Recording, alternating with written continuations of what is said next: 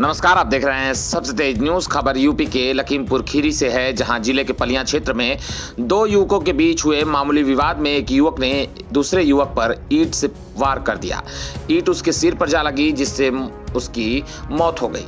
सरे शाम हुई इस घटना से पूरे गाँव में सनसनी फैल गई। देखते ही देखते घटनास्थल पर भारी भीड़ जमा हो गई। मौके पर पहुँची पुलिस ने शव को कब्जे में लेकर पोस्टमार्टम के लिए भेज दिया।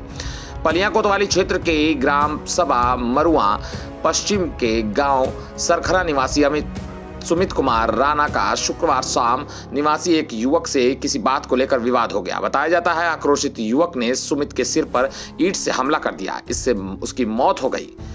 इस हत्या की वारदात के बाद आरोपी आरोपी मौके से फरार हो गया। कुछ देर बाद हत्या की सूचना पर गाँव में भारी संख्या में भीड़ जुट गई और पुलिस भी मौके पर पहुँची। आप देख रहे हैं लखीमपुर खीरी से फारूक हुसैन की रिपोर्ट। क्या नाम भैया आपका? मेरा नाम पंकज कुमार है। कैसे झगड़ा हुआ मर्डर कैसे हुआ है? मर्डर ऐसे हुआ जैसे बातों में बातों में हो रहा था ठीक? खाली लड़ाई हुई लड़ाई कुछ नहीं थी गाड़ी गरोजा कुछ नहीं हुआ था और खाली उसने जिस सुमित्र ने खाली ये कहा था महाराजा तो करण ने कहा मेरा नाम क्यों ले रहे हो? तो उसने पकड़ के गलाबान नाली में ढकेल दिया ठीक? और तो नाली में ढकेल तो उसको वो चला गया। फिर वहाँ से आ दौड़ के फिर वो दोनों सुमित्र और वो दोनों फिले उठे तो हम लोगों ने छुड़ाया ठीक? हम भाई भाई ने छुड़ाया फिर उनको अलग अलग कराया। फिर करण ने फ़ोन किया भाई दो भाइयों को बुलाया ठीक? सतीश और केवी को ठीक? तो उसने उठा के ईंटा फिर मार दिया। किसने मार दिया ईटा? करण ने मारा सुमित्र को। ईटा लगने से क्या हुआ ईंटा लगने के बाद तुरंत गिर गए थे ये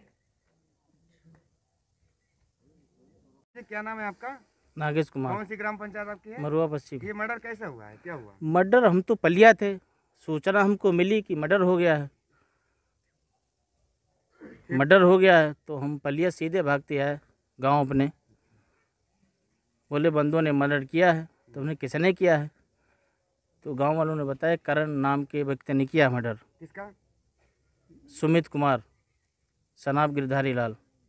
क्या विवाद हुआ? कुछ जानकारी? विवाद की जानकारी नहीं थी इनको।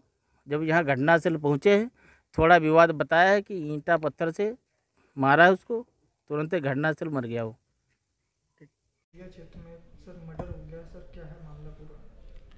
ये कल दिनांक चार दिसंबर को शाम के समय सरखनापुर गाँव थाना पलिया क्षेत्र में दो व्यक्तियों के बीच में झगड़ा हुआ।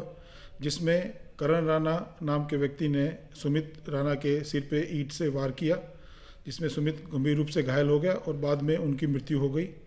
सूचना पर पुलिस द्वारा तत्काल मौके पर पहुँचा गया। सुसंगत धाराओं में अभियोग पंजीकृत कर करण राणा को पुलिस के द्वारा गिरफ़्तार कर लिया गया है।